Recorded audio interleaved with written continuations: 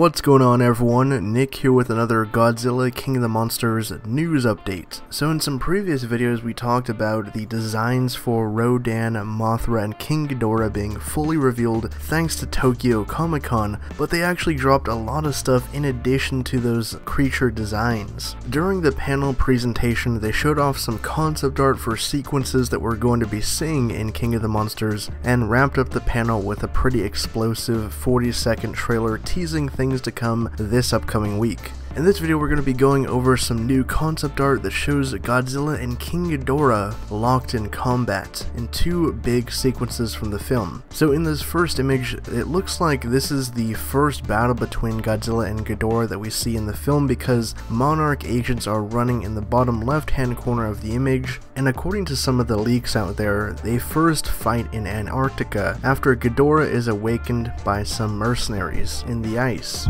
All in all I think this concept art looks really cool and definitely teases some big monster showdowns that we're going to be getting in this film, which is what a lot of people thought was lacking from the 2014 film. Okay, so this next piece of concept art is pretty fascinating. It shows Godzilla and King Ghidorah fighting underwater, which is going to be one of the other big set pieces from the film. According to, you know, what we can make out in the trailers and stuff, it looks like Kyle Chandler's character and a bunch of the other Monarch agents are going to be on some US Navy ships out in the sea, and maybe this is part of what happens when Ghidorah is actually brought over or Godzilla's tracking him maybe because of the giant storms that Ghidorah brings with him and the two actually duke it out underwater, which I think is really awesome. Can't wait to see how this is going to be fully realized on screen because obviously, you know, this is just concept art, so the actual screen sequence could be much larger and bigger and bombastic. But post your thoughts down in the comments below. What do you guys think of this new concept art and how excited are you to see the two legends duke it out on the big screen?